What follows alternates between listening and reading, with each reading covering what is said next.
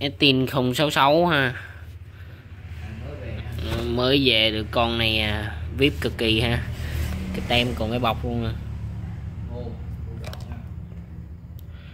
con này à, bu tròn mặt tiền bao đẹp ha. Hai hàm rồng nha. Trong nè. Chưa vệ sinh nha. Nòng bạc là bao ha cái đó là bao. Bình xăng là còn thấy xăng luôn. Bình xăng lớn là trắng tinh ha. Đây. Estin 066 màn nùm. Đây. 1993 ha. 91,6 cm khối. 92 cc trọng lượng khô có 7 kg rưỡi ha. Thẳng thắng xích đồ đầy đủ. Mới cực kỳ ha. Tông là bao ngang luôn. Máy móc full chức năng đây đi theo cây lam này là dân chơi nhìn cái là biết à, ha.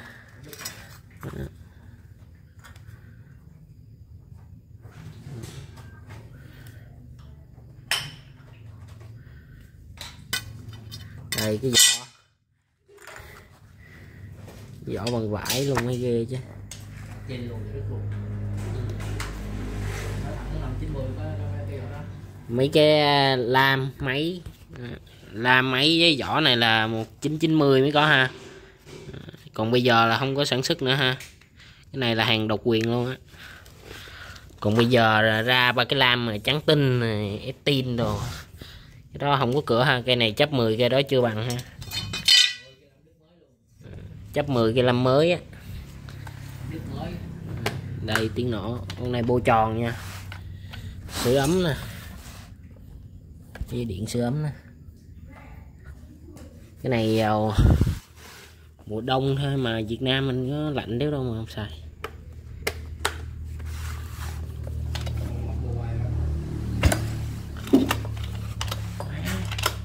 Con này không có xả áp nha nói trước luôn.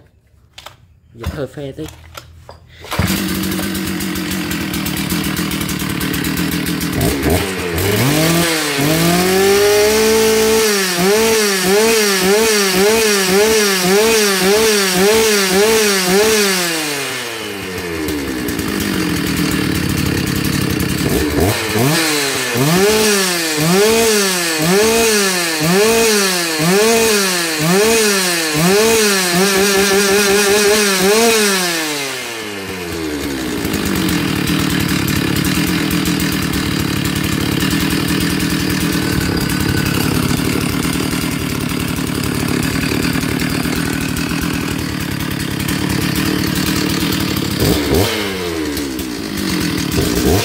Mm-hmm.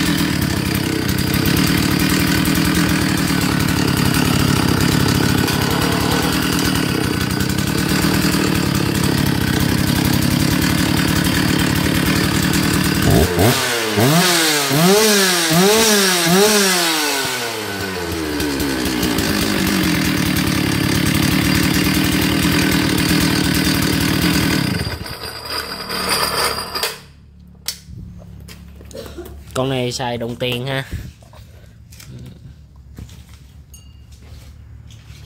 Đây lam này. 16 triệu ha nó thẳng một luôn.